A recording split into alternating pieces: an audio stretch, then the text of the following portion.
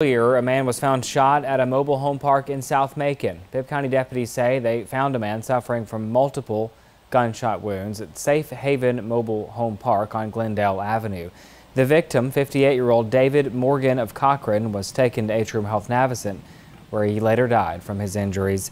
The sheriff's office says the shooting is under investigation and more details will be released when they're available. Call Macon Regional Crime Stoppers at 1-877-68-CRIME if you have information that can help.